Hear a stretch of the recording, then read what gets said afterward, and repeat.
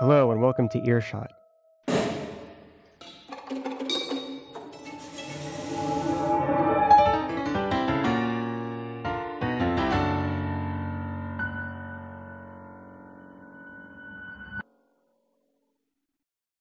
My name is Logan Barrett. I am your host this episode for Earshot, and I am here with composer Ania Vu, and I will be interviewing her about her work. Uh, pianist and composer of Polish and Vietnamese descent, Ania Vu writes music that explores the interplay between the sound properties and meanings of words, musical energy related to form, and varied notations of time.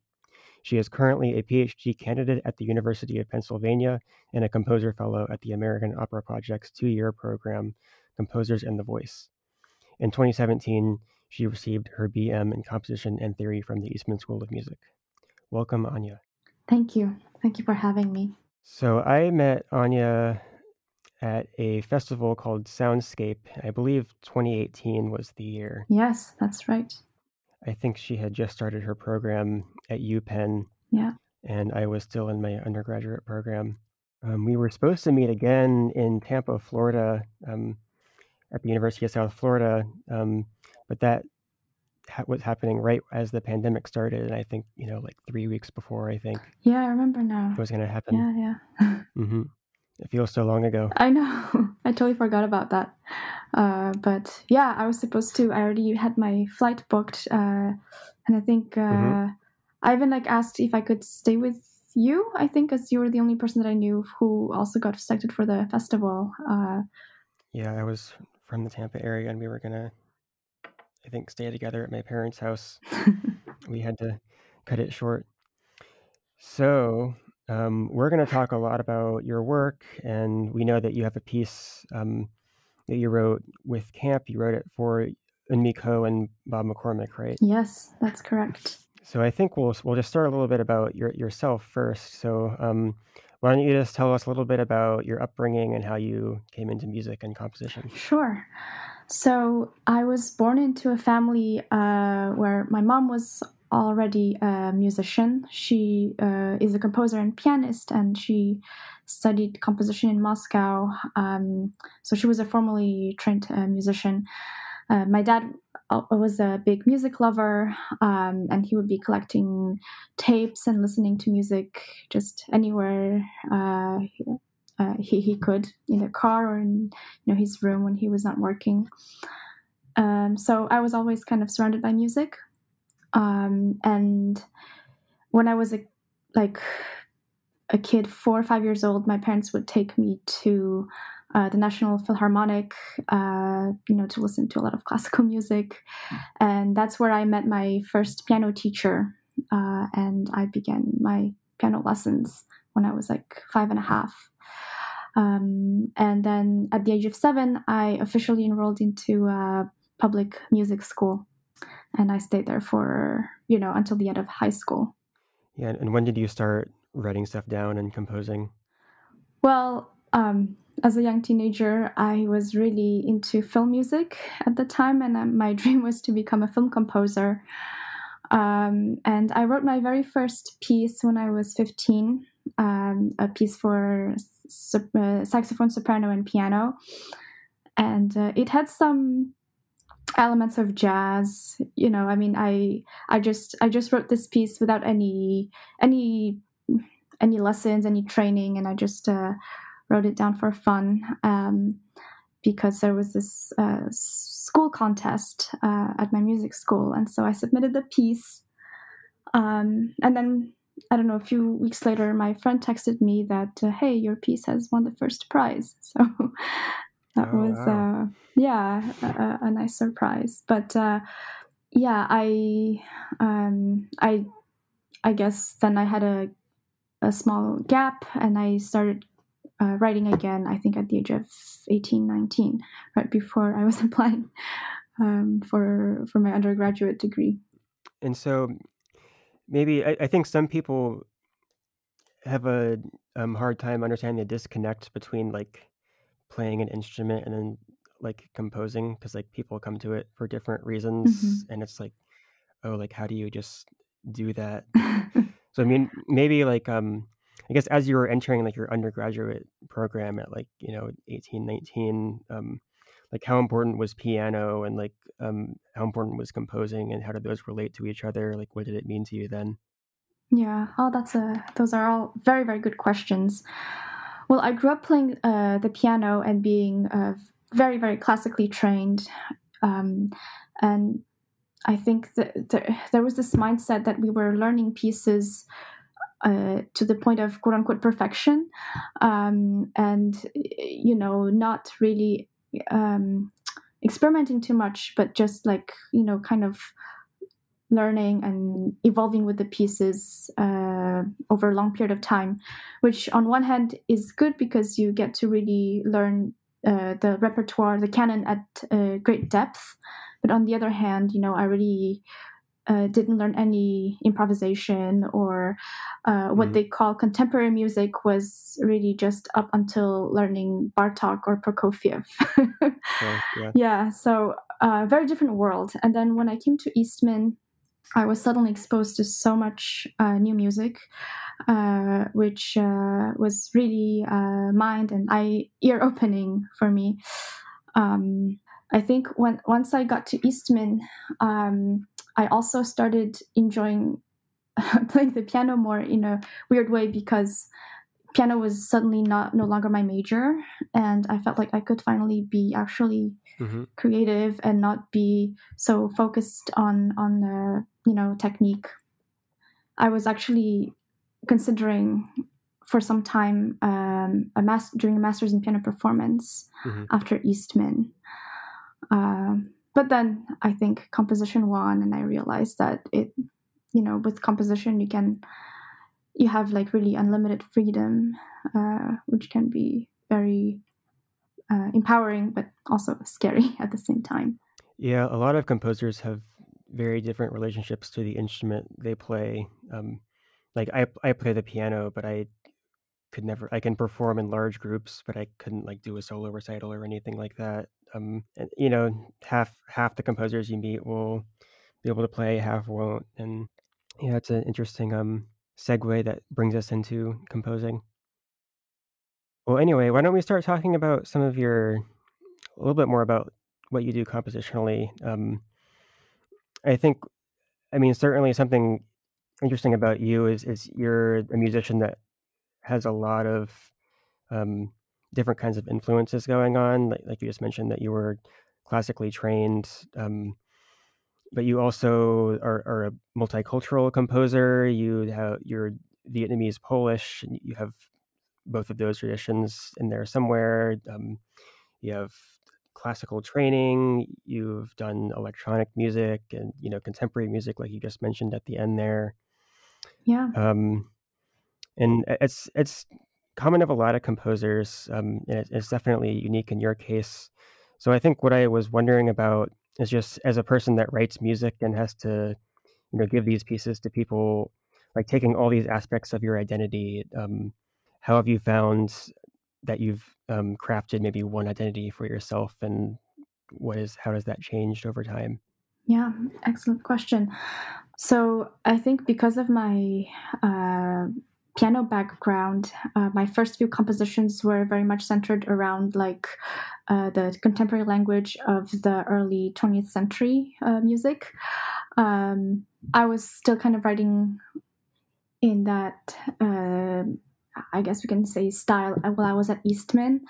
And I think uh, after I came to Penn, I have started to write music that was more in response to i don't know my own experiences or my own actual interests and not just you know writing music that i was uh, just learning from from school and and you know kind of given things to work with mm-hmm. um, so in the past few years i have uh, kind of developed two uh, interests. Um, one of them is, uh, you know, playing with time. Like I'm really fascinated with time in music, like how it can really manipulate the listener's perception, either by uh, making time seem to flow um, flow slower or faster than the time outside of uh, music. Mm-hmm. and then another thread that I think is even like more prominent now in my work is working with language and text. So growing up, uh, I have always really enjoyed uh, the language uh, subjects in school. Like they were always, uh, you know, things that I was looking forward to the most uh, during my time in school.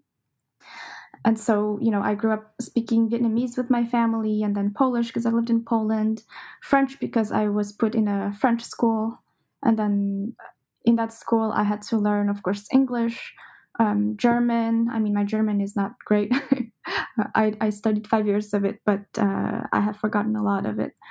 And then, you know, three years of Latin, which is again a dead language, but it also was very uh, good to learn because you know you would understand a lot of like roots from other languages.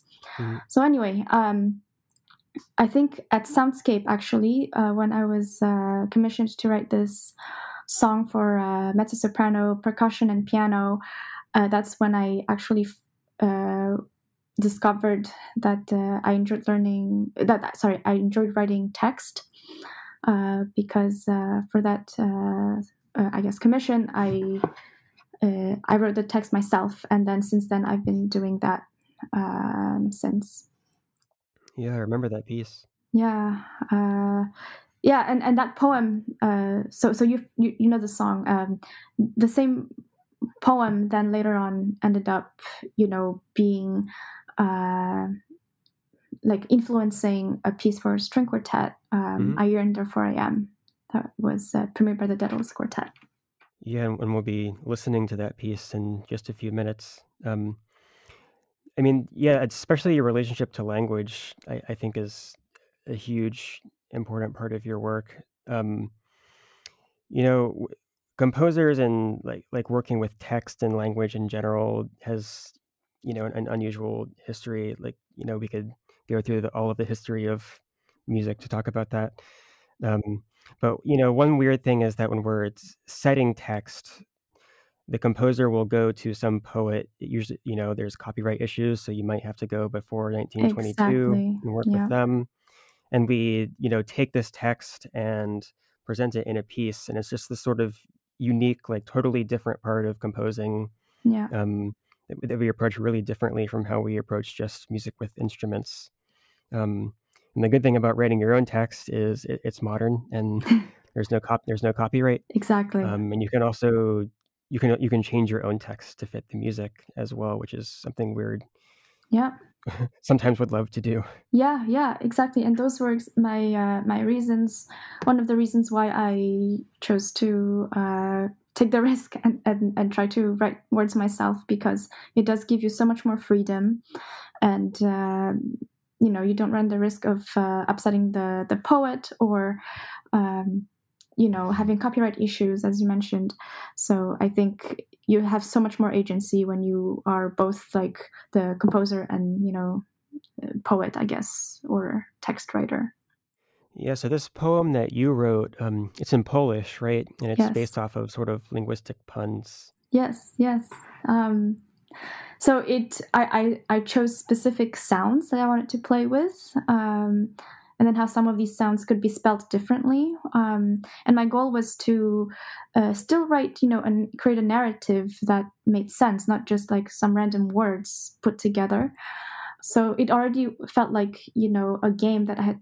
Uh, you set up the rules. The rules are, uh, you know, create a, a sensical narrative uh, that is meaningful to you in a personal way, and then also play with uh, the sounds of these words. Um, and uh, of course, like uh, form, as as composers, we're always concerned about form, and I think I I actually don't think of myself as like a poet, but more like a text composer, if that makes sense. Mm-hmm.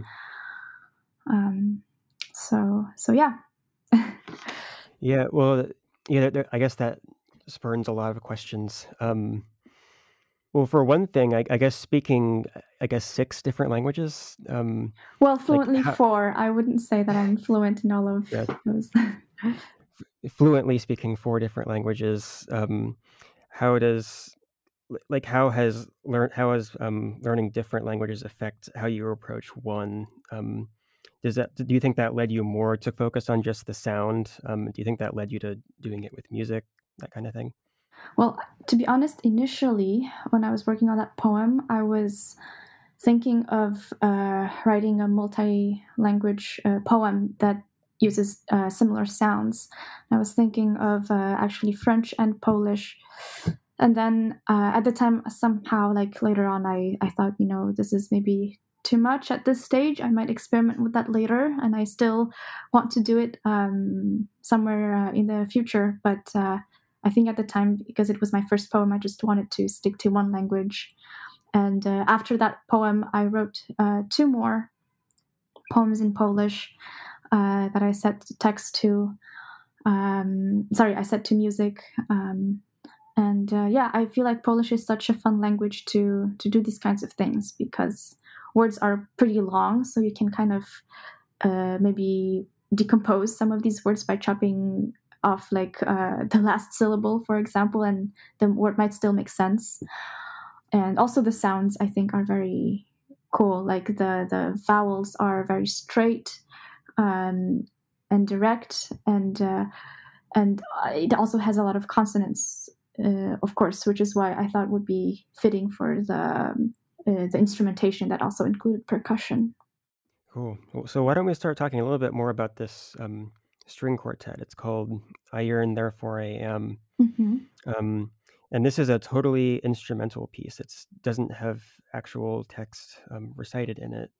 Um, so, like, what's the deal with that? Like, how do you translate language into a string quartet? Yeah. So, um, actually, the poem, I have divided it into four different parts. And then um, those parts, each of those four parts ended up being a separate movement in the piece. Um, and the first uh, part of the poem is just, you know, uh, building up from one syllable uh, to adding another syllable uh, at the end of, of the line. And, you know, you go from one syllable to I don't know a phrase of like eight or nine syllables that kind of are playing with homophonic sounds. Mm. And so uh, I kind of almost literally translated this form into the music. Um, and each um, section, uh, short section, corresponds to like a syllable um, that centers around a certain pitch. And so, uh, subsequently, as we get uh, longer and longer lines um, of, of, words, then the each of those these sections become shorter in the music. Uh, so that's like one way of of, of uh, using the text. Um, I also, in the second movement, I think that's like the part in the poem where there are lots of uh, um, it's it's almost like a tongue twister. Uh, lots of zh, sh, ch sounds.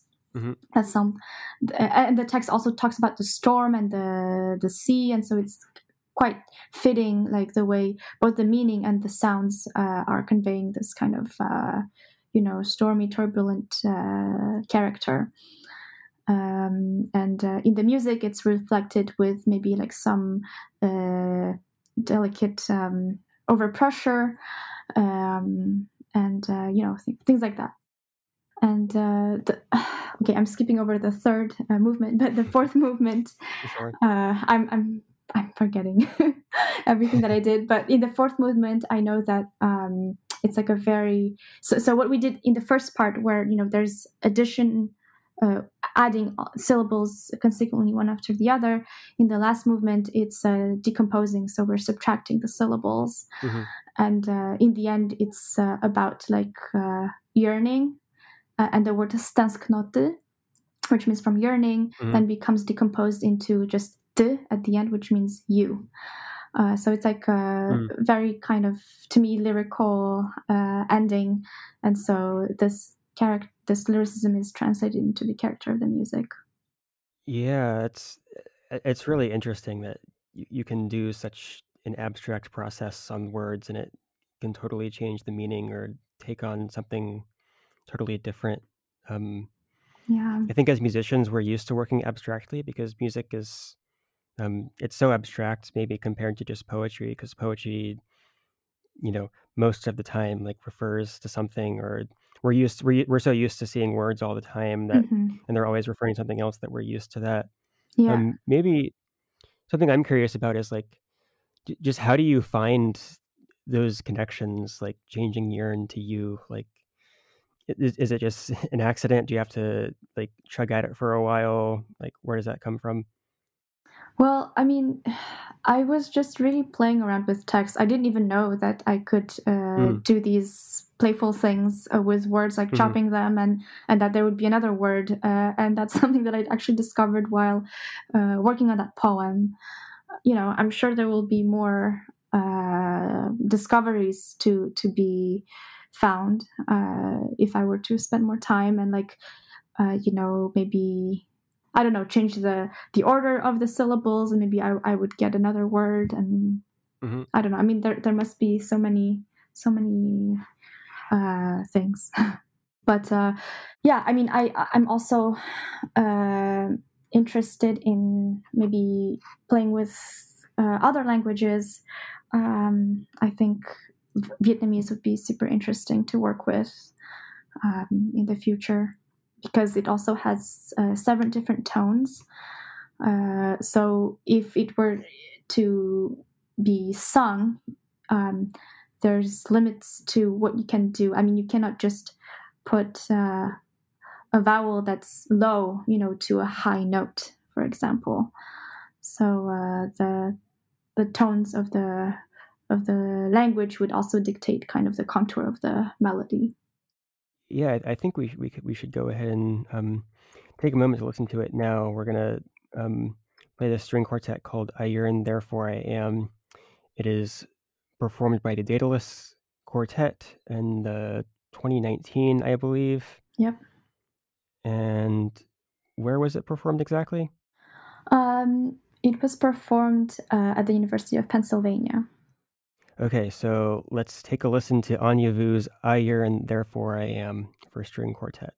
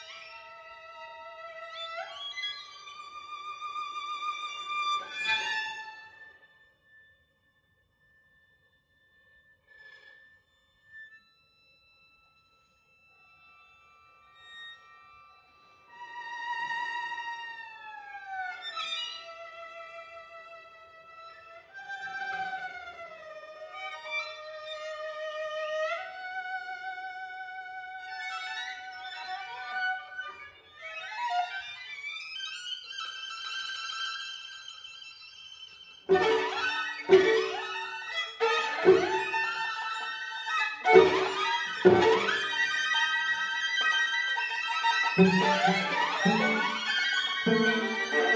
you.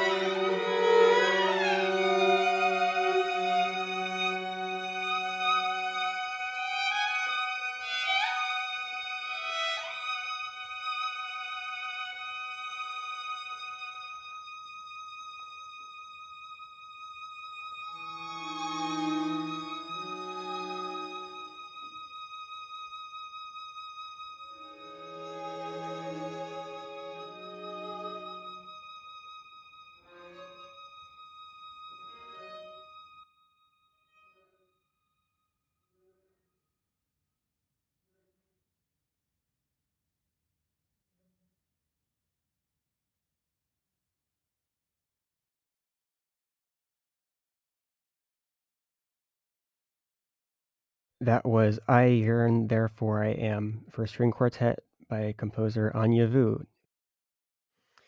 So it, it's a great piece. It, it it's um maybe on the first I, have listened to it quite a few times now, and um, I think having the context of knowing that it's about language really changes what it means. Um, in the program notes, you mentioned that it influences what sounds you use at multiple levels, like just at the individual level of pitches and rhythms, yeah, and then sort of section lengths, and then like the entire piece. Um, exactly. So maybe just on a global, at a global level, like how were you thinking about the relationship between language and instrument music?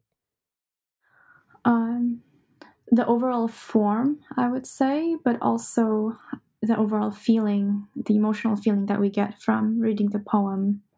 Mm-hmm. Um, I care about that a lot uh, because in the end, you know, I I mean, although I enjoy uh, doing things uh, like like following uh, some things mechanically, you know, like oh, here I'm going to add another section because you know I'm following the text. But at the end of the day, I think you know the piece of music or, or the poem also needs to uh, have something more uh, to it than just like following some rules mm-hmm. um, or some principles. So, uh, yeah, I would say uh, the carrying the emotional feeling of of the text. Yeah, and you mentioned at the end of your program notes, you say that although one can read the poem to enhance the listening experience of the music, both the poem and the music can exist as standalone works. So we're we're we're quickly running out of time here, so I, I think we're gonna um, talk about your piece for the upcoming camp concert. It's on October third, right? And this is a piece for Bob McCormick and Eunmi Ko. It's for piano and percussion. So the piece is entitled uh, Two Plus. Um, so when I started writing the piece, I had like several different sketches, um, and then I realized that, you know, I always work so much with pitch uh, like as a composer, I'm uh, uh, I'm very drawn to working with uh, you know crafting like the most perfect melody or you know something that always has to do with pitch and less with rhythm. And so I gave a challenge to myself to play with only two pitches, uh, E sharp and F sharp. I mean, don't worry, the whole piece uh, doesn't only do that the whole time, but it is like kind of um, a big part of the piece. Um, and uh, paradoxically, this big constraint did push me to be more creative with other aspects of of, um, of music, such as uh, texture, uh, rhythm, articulation, dynamics, um, and form, of course. And I think the most interesting uh, uh, thing was form because, you know, the big question was, do I just keep playing with these two pitches, or do I also uh, introduce something different like how different um, and at what point in the piece. Um, so those were like fun things to think about during the writing process and you know of course it, it kept changing but uh, i think the way it is now i hope it will work. I mean i think it works personally but again i would have to hear it uh, actually what it sounds like you know other than just on my midi um, right. but uh, and we will very soon yeah um, i can't wait yeah so um, how did you um, end up making the connection with um, Bob and Eunmi? Like, how did that? How did the commission itself come about? Um, to be honest, uh, kind of out of the blue, maybe because uh, Eunmi just uh, messaged me or maybe I think I gave a presentation at um, mm-hmm. uh, you know at this fest- what was supposed to be the festival um, yep. that got canceled, and so you know, Eunmi uh, asked me if I wanted to give a presentation. So after my presentation, I think maybe a week or two later, she texted me on Messenger and she was like, "Hey, do you know write a piece for me and Bob?" and I was like, "Sure." So uh, it just happened like that, really uh, and yeah, working with them has been really great. Uh, they're both very responsive to emails, uh, which is really helpful, and they're they ask a lot of questions, and you know are super positive and open to to to anything that I suggest. So it's been a very uh, smooth uh, collaboration so far. Um, and I'm waiting for the recorded rehearsal uh, from them. And mm-hmm. Yeah, I really I'm I'm eager to to hear what uh, what, what it sounds like. Yeah, the concert um, it's in Orlando, and it's um Sunday, October uh, third, twenty twenty one, at seven p.m. in the Timucua Arts White House, which is a um a well known arts venue in Orlando. Cool. So I think um, we have a little bit of time left. Maybe we could talk a little bit about what you're working on now and um, what the future is holding for your work. Sure. Well, um, currently I am working on an opera for a chamber ensemble, multimedia and mm-hmm. electronics, um, and uh, it's called Through the Doors. The instrumentation is for Pierrot ensemble plus percussion, uh, soprano, and baritone, so eight people in total um, and uh, it's quite of a unusual uh, project for me because it's like a pretty large scale uh, project um, for me. I haven't worked on on something that has uh, that also involves you know uh, multimedia um, and you know so many uh, so many musicians and also to be working with an actual narrative, like a like a story.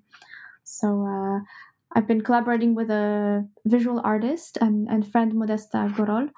Uh, she's Polish. Uh, and uh, she will be the one designing the background visuals and uh, short animations for the for the piece.